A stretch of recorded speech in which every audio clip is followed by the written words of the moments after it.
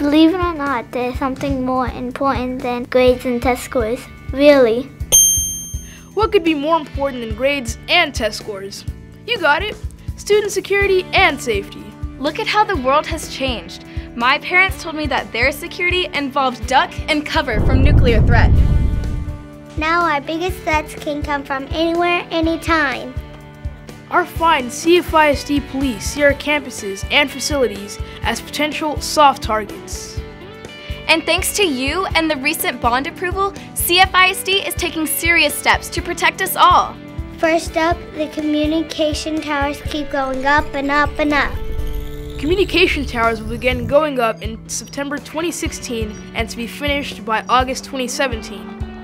And all schools had card readers installed this past August to ensure that only authorized people have access to my school. Do you know what all the buzzers around here? Ah, buzzers. Front door security buzzers have been installed on all campuses. But wait, there's more. I always wanted to say that. In the near future, we will install 60 emergency call boxes at secondary campuses so anyone can alert CFISD police immediately. And lockdown panic buttons will save precious time when any of our schools have to enter lockdown mode.